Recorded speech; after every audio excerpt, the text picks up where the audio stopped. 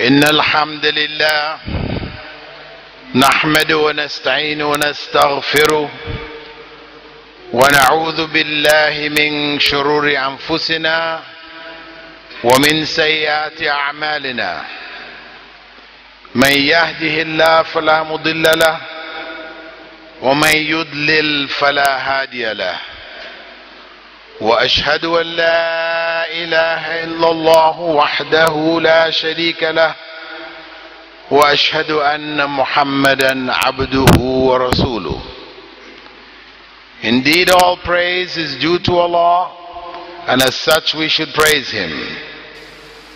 Seek his help and seek his forgiveness and seek refuge in allah from the evil which is within ourselves and the evil which results from our deeds. For whomsoever Allah has guided, none can misguide. And whomsoever Allah has allowed to go astray, none can guide. And I bear witness that there is no God worthy of worship but Allah, who is alone and without partner. And I bear witness that Muhammad sallallahu alayhi wasallam is the last messenger of Allah. إن أصدق الحديث كتاب الله وخير هدي هدي محمد صلى الله عليه وسلم وشر الأمور محدثاتها وكل محدثة بدعة وكل بدعة ضلالة وكل ضلالة في النار Indeed, the most truthful form of speech is the Book of Allah, the Quran. And the best source of guidance is the guidance brought by Muhammad sallallahu alayhi wasallam, the Sunnah. And indeed, the worst of all affairs are the innovations in religion. For every innovation in religion is a cursed innovation. And all cursed innovation leads to misguidance. And all misguidance leads to the hellfire. My brothers and sisters, I advise you all and myself to fear Allah. To fear Allah in the open and in secret. To fear Allah with our families and with our friends. For the fear of Allah is the essence of faith. Allah subhanahu wa ta'ala has commanded us in the Quran in Surah Al-Ma'idah or Surah Al-Hujurat إنما المؤمنون إخوة فأصلحوا بين أخويكم Indeed, the believers are one brotherhood. So resolve what is between you, what is between your brothers. This verse from Allah subhanahu wa ta'ala begins with affirming the brotherhood. The brotherhood of faith. It is Iman, faith, which joins us all together. It is Iman, faith in Allah subhanahu wa ta'ala, which joins me with you.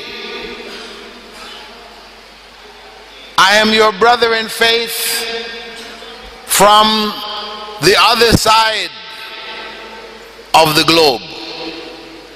Born in Jamaica, raised in Canada, but here I am in Uganda.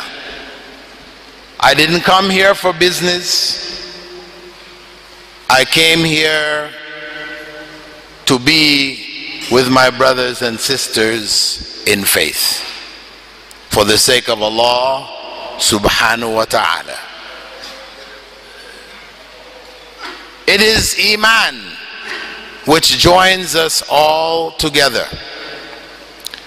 And it is Iman which joins us with all of the other Muslims around the world.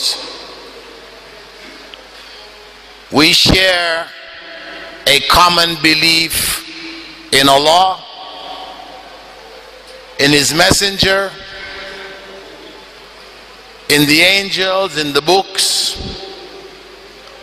in the resurrection, in Qadr.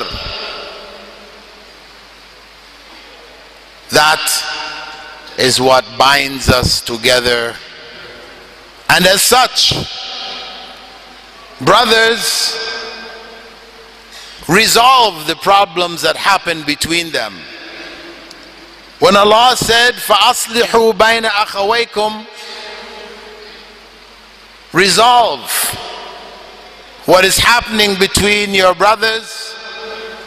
This is telling us that it is inevitable that there will be differences amongst us.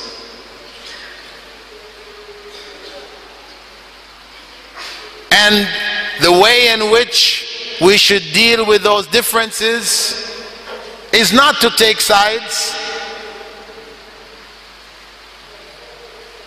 but to resolve those differences. Of course, taking sides may become inevitable when one of the sides refuses. Then we have to join with the other side to bring them to the table of reconciliation. But this is our command to reconcile what is between us. The companions of Rasulullah sallallahu alaihi wasallam differed. And those differences reached the level of fighting between themselves in the time of Khalifa Ali ibn Abi Talib and Muawiyah radiallahu anhuma. However, when it reached that level, they sought to resolve the problem between them because they knew that Muslims should not be fighting our fellow Muslims. Whatever the difference is, we should find ways of resolving them. Just as in our own families, we differ with our brothers and with our sisters. And for the most times, we don't fight them. We work out those differences. Our fathers, our mothers intervene and help us to find ways of resolving those differences. So, in the same way, you should hate fighting your brother who is your blood brother. You should hate fighting your brother who is your brother in faith. Because faith ultimately is stronger than blood. faith is stronger than blood. Prophet Muhammad sallallahu alaihi wasallam could not pray for his own father and his mother. He was not allowed to do so because they died in disbelief. That's blood. But he could pray for Ammar ibn Yasir, his father, Yasir, and his mother, both of who were the first martyrs in Islam. So he could pray for Yasir, even though he was not his blood brother. He prayed for him and he couldn't pray for his father. Not allowed by Allah subhanahu wa ta'ala. Can we get a more clear message from Allah subhanahu wa ta'ala that the brotherhood of faith is superior to the brotherhood of blood? So Islam calls us to this brotherhood, the one of faith. And at the same time, Allah addresses some of the features in our society which leads to differences amongst us. One of the most common features is that of pride. Pride, the original sin. From the Islamic perspective, the original sin was not Adam's disobedience to Allah and eating from the tree. Adam and Eve eating from the tree, according to Christian understanding, that is the original sin. But for us, that is not the original sin. The original sin was the sin of Iblis when he was commanded to bow before Adam in recognition of the superiority of Adam, which Allah blessed him with. His command to Iblis to bow was his test. Iblis, who was among the angels, was elevated, but when the test, that test of faith came, he failed. He refused to bow.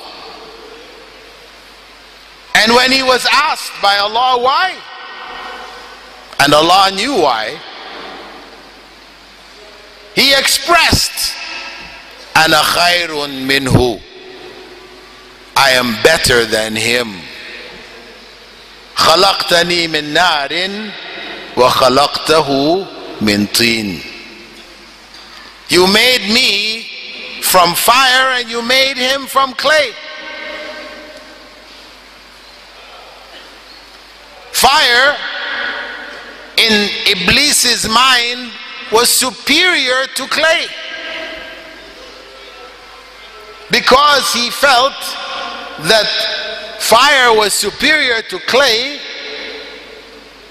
he saw himself better and he disobeyed Allah. And in his disobedience to Allah he implied that Allah had made a mistake. A'udhu billah. By claiming that the reason why he shouldn't bow to Adam is because he's superior to Adam, it means then, indirectly, that Allah made a mistake in telling him who is superior to Adam to bow to Adam. And this is the kufr. This is where disbelief entered. Otherwise, his disobedience was of no difference in value to Adam's disobedience in eating from the tree. Allah told him not to eat and he ate. He told Iblis to bow and he didn't bow. If he had left it at that, it would have been the same. Repentance would clear it, end of story. But he went further. He questioned Allah's judgment. So that sin, which was driven by what? By pride.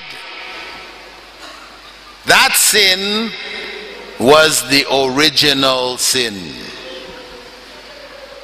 That is the sin which preceded the sin of Adam's in, in disobedience. And that is the same sin which arises amongst us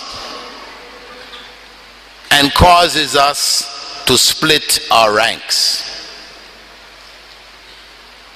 We can't accept one leader because we think we are better than that leader.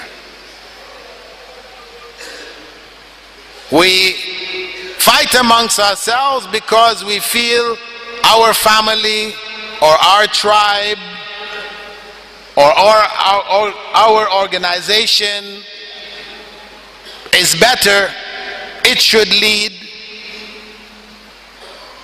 So we look down on the other organization. But Allah subhanahu wa ta'ala in Surah Al Hujurat told us very clearly يا أيها الذين آمنوا لا يسخر قوم من قوم عسى أن يكونوا خيرا منهم Do not, O you who believe, scorn, look down on one people over another. Because it may be that Allah has made that people better than the other. You think yourself to be better, but in fact, Allah has made them better. It is not befitting for us as Muslims to look down on our fellow Muslim.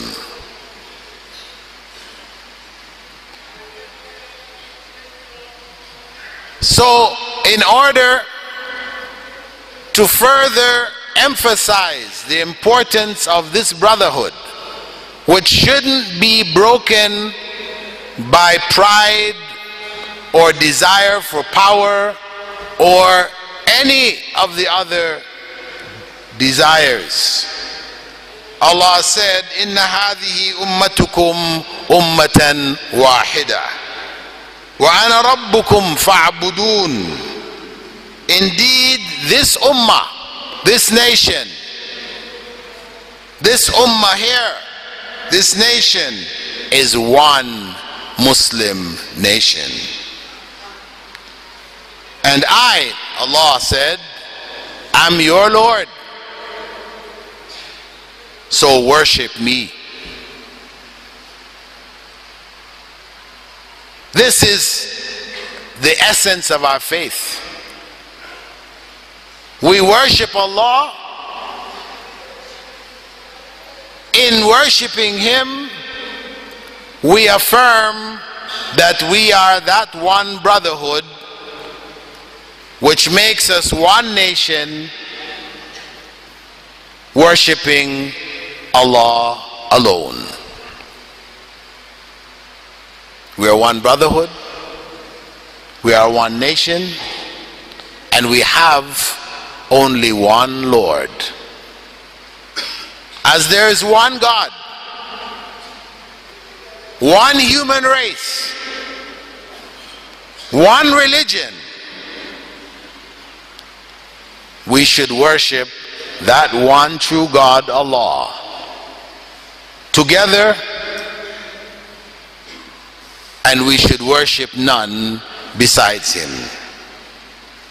I ask Allah subhanahu wa ta'ala to bring this realization of the brotherhood back into our hearts, into our minds, and into our community. And I ask Allah subhanahu wa ta'ala to forgive our sins in looking down at our brothers and sisters and splitting our ranks. And I ask Allah subhanahu wa ta'ala to guide us to Sirat al-Mustaqim. صراط الذين أنعمت عليهم غير المغضوب عليهم ولا الضالين that path which is one path based on our faith I ask Allah to forgive our parents who have passed away and our relatives and our friends to make their graves gardens from paradise rather than pits from hell أقول قولي هذا واستغفر الله لي ولكم ولسائر المسلمين من كل ذنب فاستغفروه إنه هو الغفور الرحيم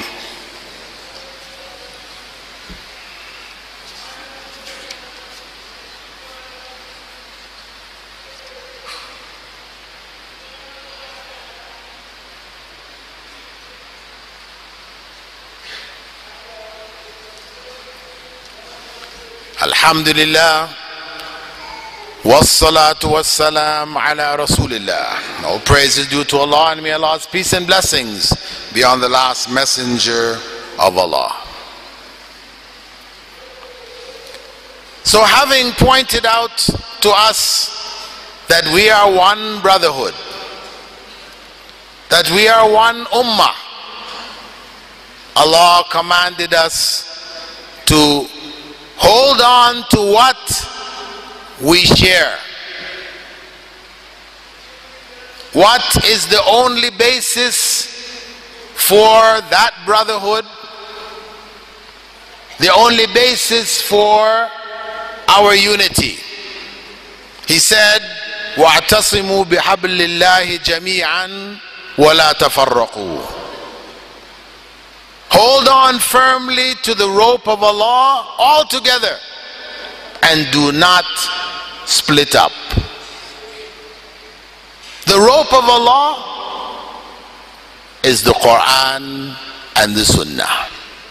This is the rope of Allah.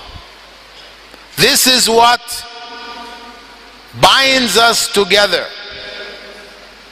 That we are committed to the Quran and the Sunnah. We resolve our differences فَرُدُّوهُ إِلَى اللَّهِ وَالرَّسُولِ We resolve our differences by taking whatever we disagree on back to the Quran and to the Sunnah.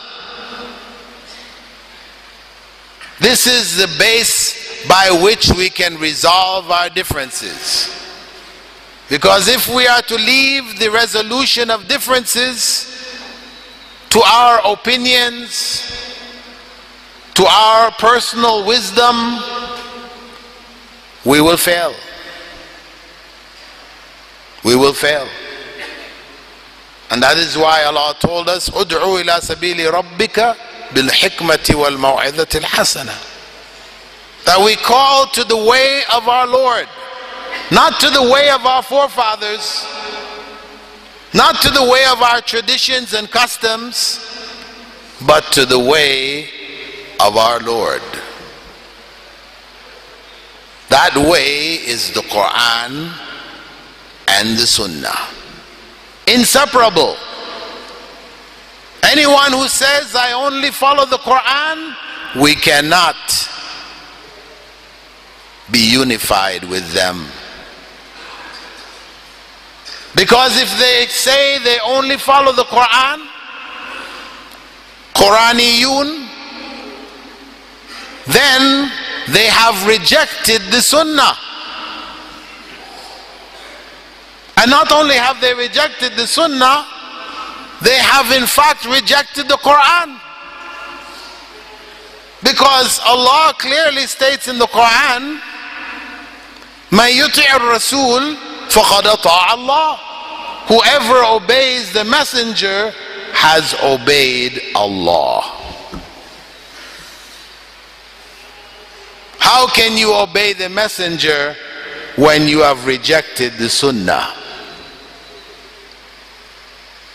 You can't. And that is why our unity, our brotherhood depends on accepting the Quran and the Sunnah. And that is why the Prophet ﷺ further told us, تركت فيكم أمرين إن تمسكتم بهما فلن تضلوا أبدا I've left with you two things. If you hold on firmly to them, you will never go astray. The book of Allah and my sunnah. The book of Allah and my sunnah. That is the basis of the unity and the brotherhood. However, there is one more concept that we need to be clear on. And that regards the book of Allah and the sunnah of Rasulullah sallallahu alaihi wasallam. That is, how do we understand the book of Allah and the sunnah? If we are to understand the book of Allah and the sunnah according to your opinion, my opinion, his and his, then we will be lost. While holding on to the Quran and the Sunnah, we will end up fighting each other, splitting our ranks. Because holding on to the Book of Allah and the Sunnah must be in the way that Rasulullah sallallahu alaihi wasallam and his companions held on to it. We must follow the understanding which the companions of the Prophet ﷺ understood. We must follow their understanding. If it is left up to you and me, one person told me, celebration of the Prophet ﷺ's birthday is in the Quran. I said, Yeah. I've read the whole Quran a number of times. I don't recall seeing any verse which says, celebrate the Prophet ﷺ's birthday. He said, Didn't you read the verse? The verse which states, إن الله وملائكته يصلون على النبي يا أيها الذين آمنوا صلوا عليه وسلموا تسليما Didn't you read that verse? I said, Yes. But where does it say celebrate the Prophet's birthday? He said, That's exactly what it says. So I said, Well, uh, the Sahaba didn't celebrate his birthday. And they knew that verse. So, what are you telling me now? That you have understood that verse better than the Sahaba? A'udhu Billah. Or that the Sahaba knew the verse and what it meant and they didn't follow it? A'udhu Billah. The understanding of the Sahaba is what preserves the Quran and the Sunnah for us. That's why the Prophet ﷺ, when he was asked after saying that Muslims will divide up into 73 different sects. 72 of them headed for hell, and one alone going to paradise. He was asked, What is that one, O Messenger of Allah? He said, Ma ana alayhi wa ashabi. What I am following and what my companions are following. He didn't just say what I'm following, he said what I'm following and what my companions are following. They were the best of generations, and he said it. Khairun nasi qarni. The best of generations are my generation. ثم الذين يلونهم then those who come after them ثم الذين يلونهم then those who come after them the tabi'un and the tabi'ut tabi'in he spoke of those three generations first and foremost the best was that of his sahaba. So obviously their understanding of the quran and the sunnah must be the correct understanding. So when the Ahmadiyya, the Qadianis, who believe in a prophet after Muhammad wasallam, by the name of Mirza Ghulam Ahmed, born in India back in the 1800s, when they say that he is a messenger after Rasulullah and we say to them but Allah said in the Quran, describing the Prophet Muhammad as being Khatamun Nabiyyin. Khatamun Nabiyyin. The seal of the prophethood. They said, actually, Khatam means seal, yes, but it also means ring. The ring you wear on your finger is khatam.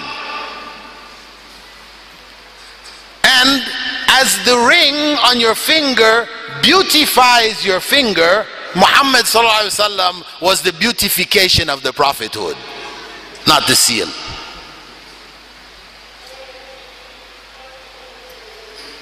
Arabic. You go back to the dictionary, you'll find, yeah, it's true. In Arabic, yes, khatam also means ring. So is it ring or is it seal? The end.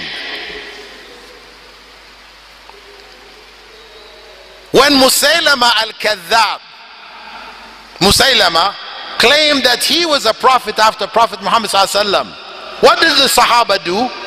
Say, oh, yes, the Muhammad was the seal. It was not the seal, it was the the uh, beautification of the prophethood so we can accept Musaylama? Is that what happened? If you know the history of the Khulafa Rashidun, you know that Abu Bakr led the Muslim army to kill Musaylama al-Kadhab. To kill him.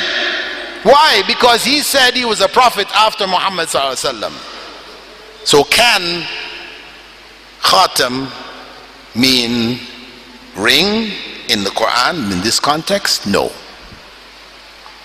It means seal, the last. And of course, there are many hadiths of the Prophet ﷺ. He said, La nabiyya ba'di. There is no messenger coming after me. End of story. The Sahaba understood it. He was the last of the prophets. So anyone who claimed prophethood, and there were others, there was the Aswad al-Anasi in Yemen. They fought him and killed him. There was Sajah, a female prophet.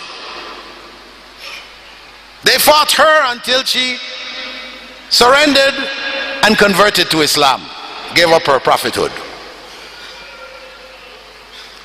So it is the understanding of the Sahaba which gives us clarity as to the teachings of the Quran and the Sunnah. So we must commit ourselves to that understanding. And there are those who say, actually, splitting up is not really a bad thing.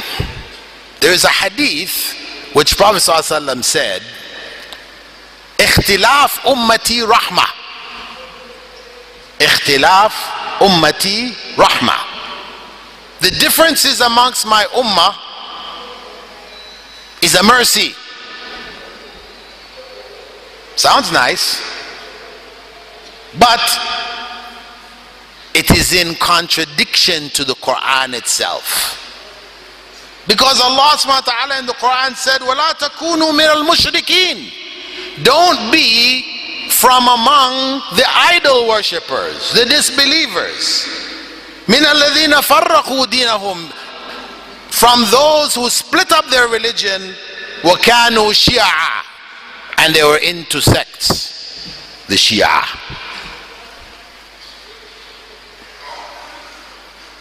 So Allah is cursing those people who split up, differed, and split up the religion into sects. It's not a mercy, it is a curse. So, we are one brotherhood. إنما المؤمنون إخوة فأصلحوا بين أخويكم Indeed, the believers are one brotherhood. So resolve the differences among you, between you. This is the guidance of the Quran, the guidance of the Sunnah, and the understanding of the Sahaba. I ask Allah subhanahu wa ta'ala to keep us on that guidance until we meet Him. To make our last breath in this life La ilaha illallah. To bring our families along with us into paradise. To bring all those who preceded us and all those coming after us from the Ummah to paradise along with us. O oh Allah, forgive our transgressions, our negligence, our ignorance, our disobedience, and make us true believers deserving of your paradise. Ameen. Aqimus Salah. Seeking knowledge and obligation made easy. Thought about studying for a long time? Tuition fees keeping you from actually starting? Islamic Online University has led a revolution in online learning the world's first tuition-free degree, BA in Islamic Studies. Access the knowledge, any place, anytime, anywhere. It just doesn't get any easier than that. Classes, texts, assignments, completely online. Set your own schedule for the semester. No overseas travel required for the exams subjects taught by qualified English-speaking scholars, weekly live sessions and virtual classrooms, with curricula based on those in Al Medina University in Saudi Arabia, Al Azhar University in Cairo, and other reputable institutions around the world. Why wait any longer? You pay just a symbolic registration fee and are ready to begin the adventure of higher education. The most diverse student body of any university in the world. 130,000 plus registered students from 217 countries. Log in to the website for more details www.islamiconlineuniversity.com